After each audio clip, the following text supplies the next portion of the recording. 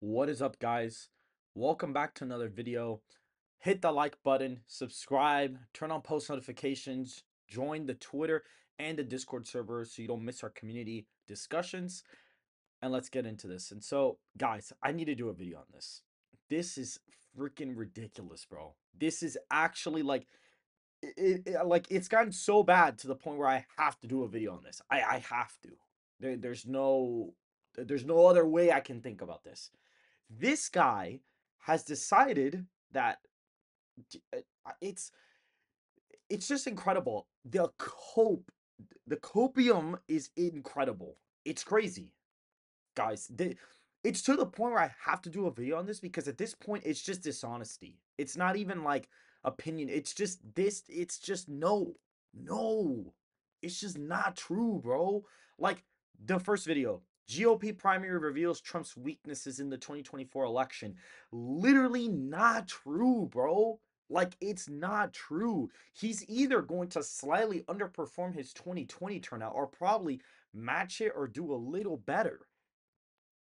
And the only reason why he's going to get less raw votes in the primary and percentages because he had an actual contender, unlike Bill Weld and he's not the incumbent. But the fact that he's not an incumbent, getting 70, 80, 90% in some states is crazy. And not only that, guys, this guy is claiming, okay, he's claiming that zombie voters for Nikki Haley exposed Trump's weaknesses. And he's basically talking about how because of the fact that he's not getting 80 90% and that there's this significant amount of the GOP crossover Democrats that are voting for Nikki Haley, that those voters are going to defect from Donald Trump in the general, which it, it's it's only three million votes in the entire primary. It's it's three votes. It's three million votes she roughly got. So something like that, and it's it's kind of going up, but. Bro, it's just not true, bro. Like if you look look at Florida, 2024, he got 900,000 votes. If you go to the 2016 primary, he got right about a million. He's performing right in line what he got. And the only reason why he's not hitting a million is because there is an actual other contender in the primary. He's right about hitting his 2016 margin. He got 45% of the vote. Here, he got 81% of the vote. In Florida, he got about 1.1 million votes in the primary. Here, he's sitting at around 900,000. He's performing right in line with his 2016 2020 presidential election performances. It's not like he's underperforming by a lot. And the only reason why he's not hitting a million here is because Nikki Haley is effectively the other candidate in the race, and she's actually a bigger problem compared to other candidates. For example, in Washington, if you go to Washington, let's go to Washington, just hypothetically. Let's look at Washington, for example, right? Dude's acting like he's underperforming by 40 points. You see, look at this. This dude managed to get 100,000 more votes in the Washington primary with a major competitor than he even did in 2016. Now, his turnout was obviously higher in 2020 compared to here, but he won the 2016 election with only getting this many votes in this primary. If we go to let's I don't know, let's look at another video he does. Arizona. He's getting around let let's look at his Arizona one. He's getting around let, let's see what he got in Arizona cuz I, I see it here. 87% of the vote is in. He's at, you know, 555,000. So let's go to let's go to Arizona. If we go to Arizona, he got 200,000 votes here. He got 200,000 votes in 2020 it doesn't seem like they really had one because I can't click it, but he only got half of what he has here. He has double the support despite having a major contender in the race running against him. If you go to Michigan, he was able to get like I mean, I wonder if it's to come up here. Okay, look, he got 400,000 votes here. If we look at Michigan, let's see if he pulls up if he pulls up Michigan. Like, see, look at this. Like, really, like Mark Cuban, like Biden fundraising, he's using money as a factor. Like, really, bro? Like, Biden is not going to spend his way to being popular. He's just not going to do it. He's not doing it. He's not going to do it. It's not happening, guys. Like, this primary is actually one of the reasons why Trump is on track to have such an easy victory in 2024 as of right now. He is unifying most of the GOP as the non incumbent incumbents don't get numbers like that. They don't get 70, 80, 90% in some states. That does not happen for incumbent, for non-incumbent. So the fact that he's the non-incumbent and is getting that much is very, very good. There are certain states that Biden is getting less votes, or not getting less, but he's getting well, in a lot of states, he's getting less votes than Trump raw margin wise. But there's even some states where, like in Minnesota, he's barely destroying Trump's margin or percentage in that state. He's uh, he's getting 71 and Trump got 69%. Like that is not good at all. That is a very bad sign for him. And then the next one, this was my favorite. Joe Biden can win the election but lose the popular vote. Like really? Really? Like what is this, bro? This is the the most shit take I've ever seen in my life, bro. Like that's that's not possible. There's no way. I'll literally do a map for you guys so you can see what would have to happen for Trump to win the popular vote but lose the electoral college. Basically, he'd have to get dictator margins in all the red states. He'd have to get dictator margins in all the states. He'd have to win Iowa and Ohio by 15. He'd have to win basically win Texas and Florida by almost 15 points. He'd have to get North Carolina at like a 5 point win. He'd have to win Georgia by a lean margin, win Arizona by a lean margin. He'd have to basically get Colorado within five and like get a bunch of states. But then like Oregon and Washington go likely. Illinois would have to be close. New York would have to be close. These would have to go all here. Like eh, so he's getting reduced margins in all these blue states, but then somehow magically he wins Wisconsin, Michigan, and Pennsylvania. That's literally what he would have to do to at that point, that's basically how he would win the electoral college but lose the popular vote, which I think is almost impossible because a lot of the big popular vote shares in some of the cities come from some of those democratic areas. Look, this is literally what would have to happen for Trump to lose the electoral college but win the popular vote. Biden would have to win Wisconsin, Michigan, and Pennsylvania by tilt margins only winning New Mexico by like three, winning Minnesota by two, winning Virginia by three, winning New Hampshire by two or three, and only winning New York by like 12 or 13, 11, Illinois by only nine or 10, like some of these states, while Trump gets dictator margins in the rules, but somehow loses Wisconsin, Michigan, and Pennsylvania. Like that would make no sense. Like that's not gonna happen. It's just not happening. He's just coping about the fact that the guy who paid him to work for his campaign is about to lose. As of right now, I'm not saying that Biden can lose. I mean, they can't win or whatever the case is. The only way I see Biden being DOA is if they seize Trump's properties on Monday.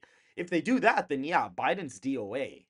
But like really? Like like this is the most crap take i've ever seen. He said oh uh, because of the midterms you know republicans voted but you know they suffered major losses and no no no no no. But they but the problem is is that republicans still won they still won the house they still won it and yes, it was close, but the thing is, is if you actually add up all of the votes, if you add up all the raw votes, that Democrats now in these key states, right? If you add up all of the votes from the national popular vote here and you actually allocate it by electoral college votes, Donald Trump would have won 297 electoral college votes. The Republicans would have won 297 electoral college votes.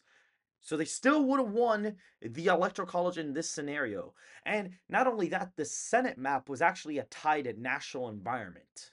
So it was it was basically a tied national environment with New York being closer, Illinois being a little bit closer, California being closer, but Wisconsin going red, Georgia not really going blue by that much. uh, compared to the polls now with Trump, and then Nevada barely went to to, to the incumbent Cortez Masto. Fetterman got lucky because he is technically more conservative than John uh than Oz in some ways, and he's actually been a pretty he's been pretty based lately. So in hindsight, I can't understand why he was able to actually win the race looking back on it now, but it, it's it, it's honestly pretty insane that this guy can sit here and really tell his audience and be like, okay, yeah, look, he's gonna win the electoral college. Eh, Biden can win the electoral college, but not win the popular vote. Like that's not that's not gonna happen. That's not happening, bro. See, look, he has the same map, but he's not he's not doing the margins because if you do the margins, it looks super dumb. It looks very dumb when you don't do the margins. This looks super dumb. He'd have to win all of these by like 10 points or more than what he won it by in 2020. Win Texas by 11. Win Florida by almost 15. Win North Carolina by 7. Win Georgia by 3 or 4. Win Arizona by 3 or 4. Win Nevada. But then, like, the Rust Belt all goes blue. Like, that's not going to happen. That's just not going to happen. And then, this this guy is really sitting here and telling everybody, oh my God, it was a major win. No, it was not. It was not. If you actually look at a national survey with all people, not just people who watch the speech on CNN, which usually the incumbent president, if they have supporters, those tend to, that tends to be most of the audience for it. That's most of the audience for the show. That's the thing that people are not understanding. Most of the audience for the State of the Union are supporters of the incumbent. So naturally, they're going to get good approval ratings. But even here, he's doing bad because Obama was getting 80, 90%. Trump was getting in the 70s to low 80s. Biden is sitting at 6 and 10 and his supposedly final, hopefully, State of the Union speech. And it's pretty incredible that this guy is really trying to spin it. Oh my god, like he he did so great. No. If you look at an actual national survey poll and they actually polled this, like what did you think about Biden's State of the Union? Do you think it helped him or whatever? Or do you think like it was a good speech? 59% say disagree and 41% agree. So literally 60% of the country believed from that survey that the State of the Union was not a good speech. And a lot of them probably didn't even watch it anyway. Overall. And not only that, Biden had way less cable viewers than Trump to even begin with, anyways. So it's just a mess. It's this guy's copium is absolutely ridiculous. And it's been like week after day after day, just a new video, a new video. And I'm like, damn, bro, like, when will we ever stop with this? But he's has not stopped. So I I had to do a video. I had no choice. I had to cover this and just tell him, tell it straight, like, bro, like you're you're like even this one, I'm not even covering this one because it's honestly pissing me off so much. But like, Senate Democrats on track to for clean sweep, really? Like, come on, bro. Like, West Virginia's an automatic flip. Montana is basically a flip. Even in the worst case scenario, Tim Sheehy is still gonna win Montana by five. You're going to sit here and tell me that Trump's going to win Montana by like 20, even more than that, probably now. So you're telling me Trump's going to win Montana by 20 to 25 points, but Tester's going to barely eke out the win? First of all, in the past two cycles, one election has there been where the state level voted for a president and then voted for the opposing candidate in the other race it's happened one time and it was in Maine, and it's Maine we're talking about. Other than that, whoever tends to win the state tends to carry a lot of people over with them. And so that is my thing. That's why this is such an issue because it's like, it's just dishonesty. They're not on track for a clean sweep. Now, I'm not saying Republicans can mess it up, but even in the worst case scenario, Republicans come out with 50, 51 seats. So for you to sit there and say that it's a clean sweep is not true at all. It's just not true. It's not at all. Now, House GOP majority declining? Yeah, sure. It's not a GOP flop era. Actually, a lot of rhinos are leaving, which is good for us. He's not wrong about that. That's bad for the GOP. Biden wins undecided voters. I mean, he's nitpicking a poll there. Ohio Republicans nominate losing candidate for 2024. Oh, gee. So the state Trump's going to win by 10 points. Somehow, Sherrod Brown's going to pull out the victory in a Republican state that Trump is leading in the polls by 10 points, in which he won it by eight and was only and was losing the polls by two points back then. And he won it by eight points. And now he's leading the polls by 10. And you're telling me that Bernie Moreno, who won every single county in the primary and won the primary by basically 20 points, outperforming the Emerson poll, which had him winning it by nine, you're going to tell me that guy's going to lose?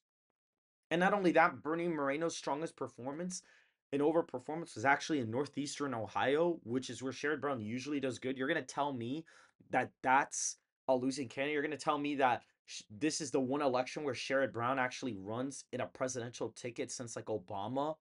And you're going to tell me this is the race that he's supposedly going to win? And where in all the polls that he's leading in, he's he's not even getting 50%. He's sitting in the low 40s. And not only that, a lot of polling doesn't take into account low propensity voters that vote on party lines because they're voting for Donald Trump. Those are not taken into account because those people are not answering polls. So that's already bad. Biden's win, yeah, I already did that. This you could say theoretically is kind of true. Like, I mean, if there is a slight polling error, you could say Biden does actually win the election. Um, but that depends. He's banking on the fact that the polls are going to underestimate Trump or underestimate Biden, which I don't know. I don't know. And then, like, Joe Biden's pathway is easier than you think, which theoretically it is because he could just win Michigan, Pennsylvania, Arizona. But he doesn't even do that. He did, like, the Wisconsin, Michigan, Pennsylvania route thing, which theoretically he's kind of right about that, but no. And then, oh, Biden reclaims the lead over Trump. Yeah, in one poll where he's leading by two, and that poll he led by, like, what, 10 points in 2020? Like, come on. Those are more debatable. But, like, the videos I picked out, it's completely unacceptable that this guy really thinks that those are good takes. It's just not good at all. Not not good in the slightest. And so this is all I had to say. I just really did not appreciate the way that this is going. From my understanding, this guy is basically working for Biden. So that's why he has to post these videos. It's because of the fact he works for the campaign. And he's just coping about the fact that Trump is on track to win the election. And so, guys, if you guys really did enjoy this video, please hit that like button, subscribe to the channel, make sure to follow the Twitter and join our Discord server in the description down below and hit the post bell notification so you don't miss another video that I post. And I hope to see you guys very, very soon.